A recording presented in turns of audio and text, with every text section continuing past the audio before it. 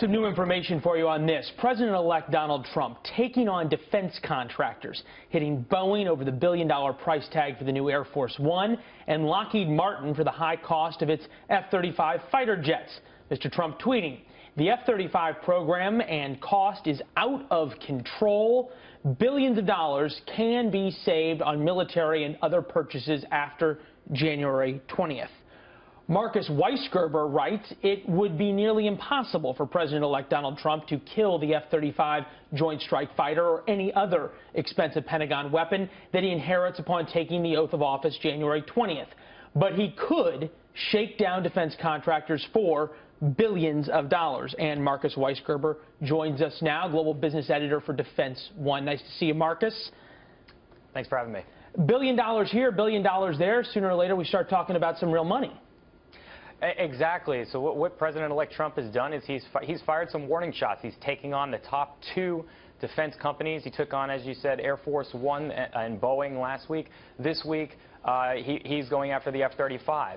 Last week, when he tweeted about the exorbitant cost of Air Force One, everyone kind of shook their head and said, well, you know, there, this project hasn't really started. Those costs are estimate, estimated, and they could be changed. Why, would, why doesn't he go after something, if he wants to go after defense companies, a project that is document, well documented for over budget, because there are a lot of them.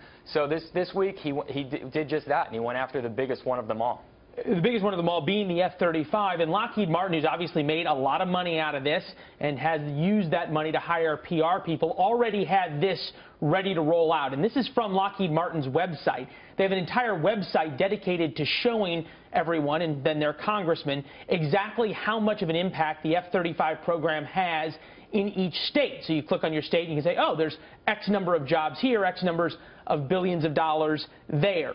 45 states in all, they say there's an economic impact of the F-35. That's 90 senators who have skin in the game, and that's a whole lot of congressmen who don't want to see any cuts coming to their homes. Exactly, and and that's and that's the thing.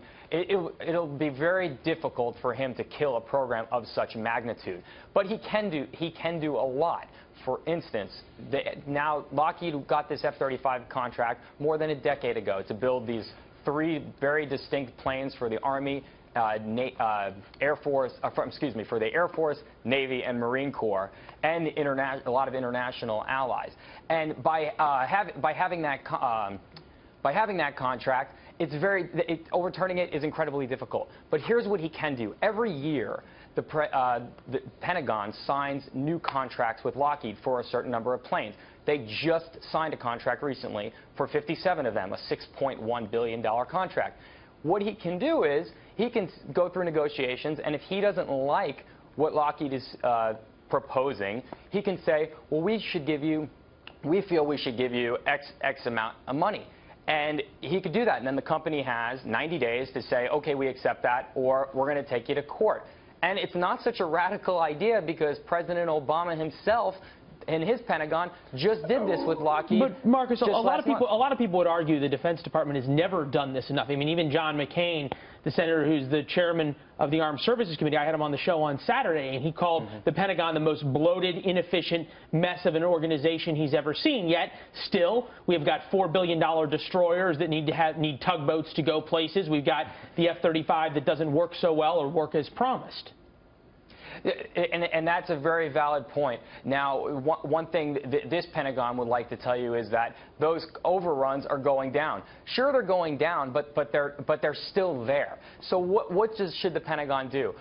Some, a lot of people say they just overreach. When they come up with these concepts for these colossal multi-billion dollar programs, they're looking at technology and, and uh, um, types, uh, kind of Star types Wars, of technology Star Wars not, yeah. Exactly. Stuff that's not proven. So they I, need to I, dial back real, down their technology. Real quick, real quick, I only got about 30 seconds. Uh, he obviously went after Boeing with Air Force One, went after Lockheed Martin with F-35. Both st stocks took a real hit when it happened. What are the next couple of programs that you think Donald Trump is going to start going after, or for that matter, should?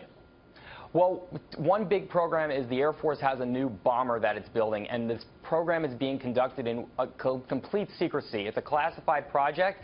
Uh, it's estimated to cost anywhere upwards of $80 billion. Uh, each plane is going to cost more than $500 billion, million uh, dollars. So it's got a big target. A lot of people are calling for it to be out in the open, and it'll be a real test uh, if he's able to actually shed some light on what's actually happening behind the scenes.